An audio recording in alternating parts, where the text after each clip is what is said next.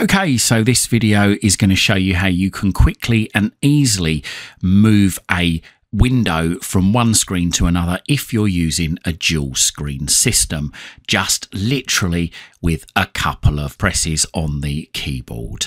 Doesn't matter what program you're using, whether it's a browser, a word processor, spreadsheet, or just looking at PDFs. It will work with any program on Windows 10 and Windows 11. All the details coming up shortly. So as I say, this video is great for people with two screens or more and they want to easily move a window between screens. So just click anywhere on like a blank area of the screen, something that's not going to sort of get you into trouble. Don't click on a menu item or a link or anything like that. Just click in a, uh, a, white area just to make sure that you've selected the window that you want to move. And then all we need to do is I've just put my webcam up in the bottom right hand corner of this screen just to show you the keyboard.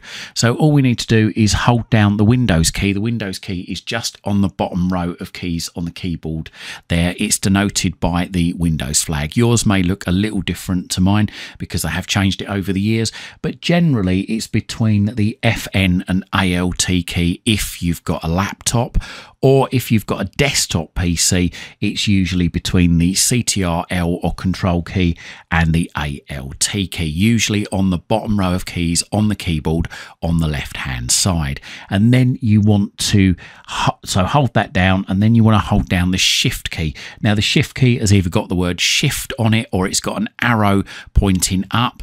It's the key that you use to basically uh, bring things in uppercase there. So hold down the Windows key, hold down the Shift key, and then with your other hand, either tap the left or right arrow on your keyboard. So I'm going to go over to the right. So let's just tap the right hand button, and there you go. As you can see there, Firefox has moved over to the right hand side.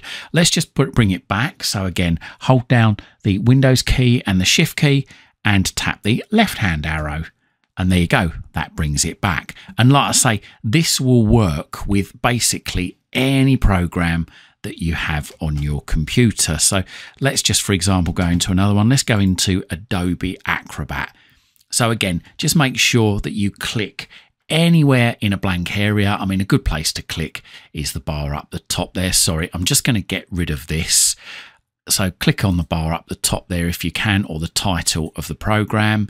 Okay, and then hold down the Windows key, hold down the Shift key, and tap the left or right arrow.